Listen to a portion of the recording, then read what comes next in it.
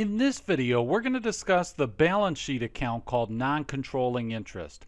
So non-controlling interest occurs when you acquire more than 50% of another company but less than 100% of that company. Okay, so if you acquire 100% of another company, you're not going to have any non-controlling interest. So let's say you acquire 70% of another firm.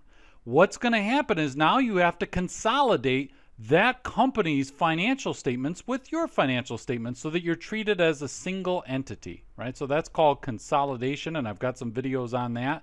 So when you consolidate this firm, you're going to take 100% of their assets and their liabilities, and they're going to become your assets and liabilities.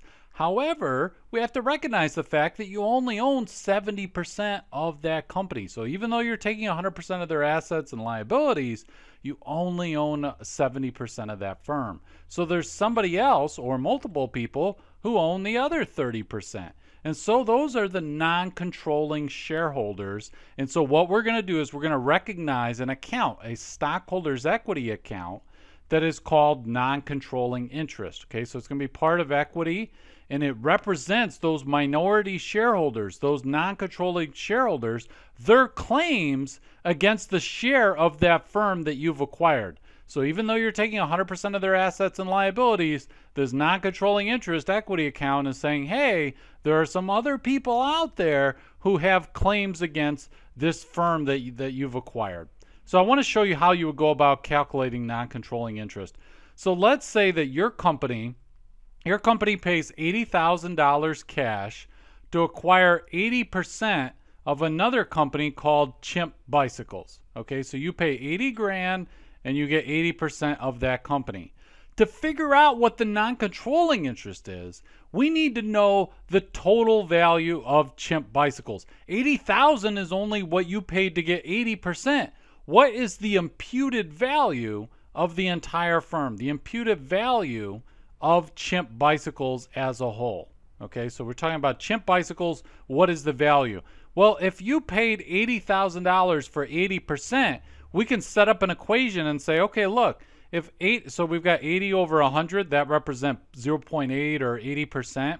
Okay, so 80 over 100 is equivalent to 80,000 over X. And X is that imputed value.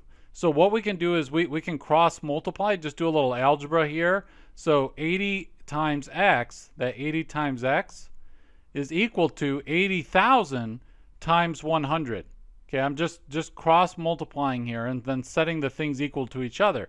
So 80x is equal to 8 million. And then x is going to be, if we divide each side by 80, x is going to be $100,000.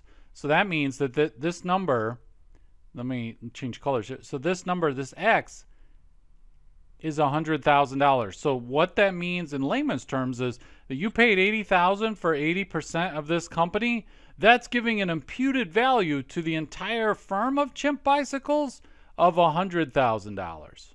So that's the imputed value of all. That's the, that's the entire thing of Chimp Bicycles. Its value is 100,000. How do we then find the minority interest or the non-controlling interest? We say, okay, well, if we've got 80%, then they have 20%. The non-controlling shareholders have claims against 20%. 20% of 100,000 would be $20,000. And so we would recognize a stockholders equity account. It would appear on our balance sheet of $20,000 for non-controlling interest.